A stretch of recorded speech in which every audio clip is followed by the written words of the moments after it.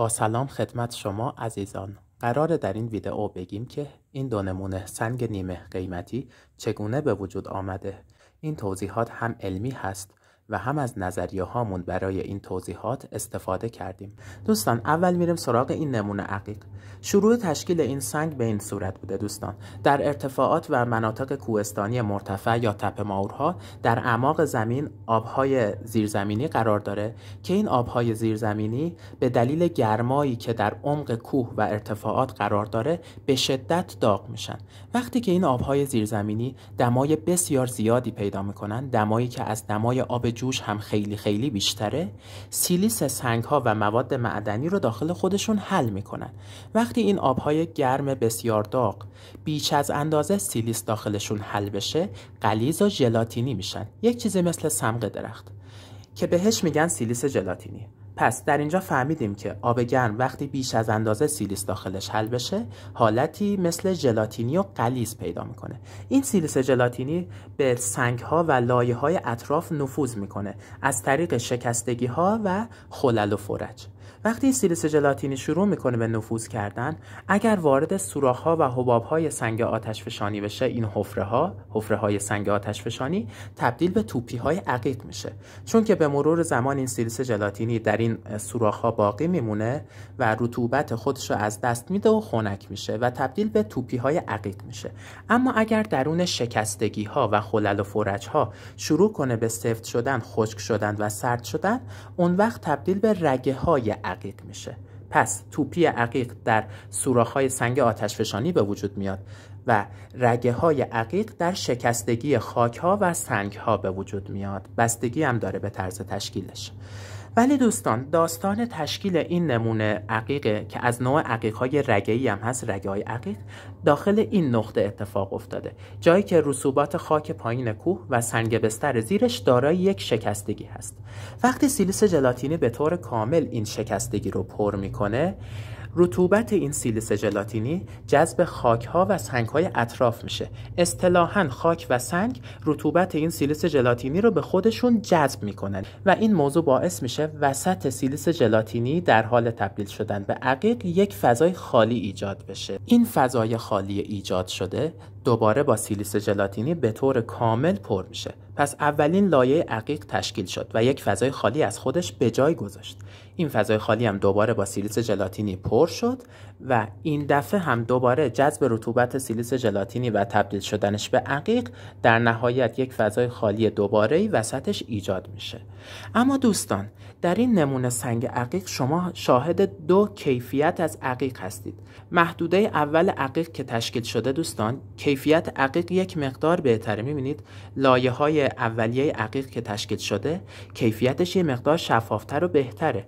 اما در لایه دوم عقیق کیفیت پایین تره چرا؟ چون وقتی که رطوبت راحت جذب خاک و سنگ های اطراف میشه کیفیت خوب پیدا می‌کنه. اما لایه دوم راحت رطوبتش جذب خاک و سنگ های اطراف نشده. به خوبی رطوبتش جذب نداده. چون لایه اول نذاشته که لایه دوم رطوبتش راحت جذب بشه. در نتیجه کیفیت لایه دوم عقیق که در نمونه دیدیم پایین تر اومده. پس ما اینجا می‌فهمیم که سیلیس ژلاتینی هرچی بهتر رطوبتش جذب اطرافش بشه کیفیت عقیق هم شفافتر و بهتر میشه. ولی هرچی بدتر باشه کیفیت عقیق هم پایینتر میاد و کدرتر میشه. این فضای خالی دوباره ایجاد شده با این دفعه با رگه آب گرم کاملا مایع پر میشه. یعنی رگه آب گرمی که دارای سیلیسه ولی کاملا مایع و روونه. یعنی مقدار سیلیسش کمتره. در نتیجه غلیظ نشده. این رگه آب گرم کاملا مایع میاد این فضای خالی مونده رو باقی مونده رو پر می‌کنه و چون که این رگه آب گرم دمای خیلی بیشتر از 100 درجه داره و فشار خیلی خیلی زیادی هم داره شروع می‌کنه تبدیل شدن به کوارتز بلورهای کوارتز که وسط نمونه دارید مشاهده می‌کنید. این بلورهای براق و زیبای کوارتز یا آمتیست بعض وقتا هم آمتیست میشه وسط کار. حالا چه جوری تشکیل میشه؟ وقتی که دما بیشتر از 100 درجه است خیلی بیشتر و فشار هم خیلی خیلی زیاده. محتویات سیلیس محلول در این مدل آب گرم خیلی خشن شروع می‌کنه به رسوب کردن. با کاهش دما و فشار این آب گرم محتویات سیلیس شروع می‌کنه به رسوب کردن و تشکیل بلورهای کوارتز میده و هرچی بیشتر رسوب می‌کنه بلورهای کوارتز هم رشد می‌کنن و بزرگ و بزرگتر میشن. جوری که دندونه های این بلورها از دو طرف فضای خالی رو پر می‌کنن و به هم قفل میشن که در این نمونه هم کاملا مشخصه. دو تا دندونه کوارتز که کاملا حفره رو بسته فضای خالی رو اشغال کرده. الان در این نمونه دوستان بلورهای بسیار ریز کوارتز در سطحش به وجود اومده. دلیلش هم اینه که این سنگ چرت داره یک شکستگی بوده. مثل این نمونه سنگ چرت بزرگتر که یک شکستگی داشته که داخل شکستگی آب گرم نفوذ می‌کنه و آب گرم وقتی داره کاهش دما و فشار پیدا می‌کنه سیلیسی که از خود همین سنگ حل کرده رو به صورت بلورهای کوارتز در خود شکستگی رسوب میده. دوستان این تیکش تبدیل به سنگ فلینت شده. سنگ فلینت هم از سنگ چرته یعنی هم سنگ چرت و هم سنگ فلینت. بافت میکروسکوپیشون کوارتز میکروبلوره هر دوتاشون هم سنگ های رسوبی هستند و هر دوتاشون هم به شیوه concretions تشکیل میشن. اما یکی از فرقایی که دارن اینه که سنگ چرت عبور نور نداره اما سنگ فلینت مخصوصا لبه هاش یک مقداری عبور نور داره.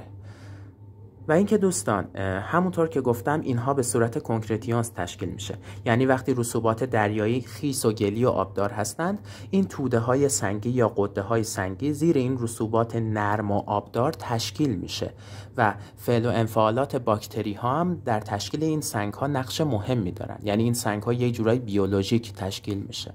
پس رسوبات گلی و نرم و آبداری که های مثل باکتری داره داخلشون گاهی وقتا این سنگ های چرت و فلینت تشکیل میشه. و دوستان این نمونه بزرگتر هم دارای شکستگی های بسیار زیادی هست. بله اینجا هم یه شکستگی داره اینجا هم یکی دیگه داره و داخل این شکستگی هم ممکنه به خاطر نفوذ رگه آب گرم بلور کوارتز تشکیل شده باشه. و همچنین اینجاها احتمال تشکیل بلور کوارتز هست. در این تصویر کاملا مشخصه که لایه های سطحی سنگ عقیق شفافتری شده و لایه های درونی عقیق یک مقدار کدرتر و وسط سنگ هم دو ردیف از بلورهای کوارتز در هم چفت شده و رشد کرده. این نمونه سنگ عقیق در واقع از لایه های بیشتری تشکیل شده. شما اینجا یک لایه نازکتر چند میلیمتری با شفافیت بیشتر رو دارید مشاهده می‌کنید که دور تا دور سنگ وجود داره. در کل دوستان این سنگ از سه محدوده لایه‌ای تشکیل شده اولی دومی سومی از هر دو طرف. و البته چهار تا کوارتز هم حسابه. و اینکه دوستان هر کدام از این لایه ها خودشون از لایه های زیر مجموعه تشکیل شدن. یعنی هر کدام از این لایه ها خودشون لایه های نازکتری دارن. که حالا شاید تو تصویر خیلی مشخص نیست. درست مثل عقیق سلیمانی. حالا که این لایه ها میشه بهش عقیق سلیمانی گفت یا نه دقیقا نمی‌دونم. ولی اینجا عقیق سلیمانی رو به وضوح می‌تونید مشاهده کنید. که درباره چگونگی تشکیل عقیق سلیمانی اطلاعات زیادی ندارم. برای همینم درباره این قسمتش زیاد توضیحاتی ندادیم. بسیار متشکرم که این ویدیو رو تماشا کردید. خدا نگهدار.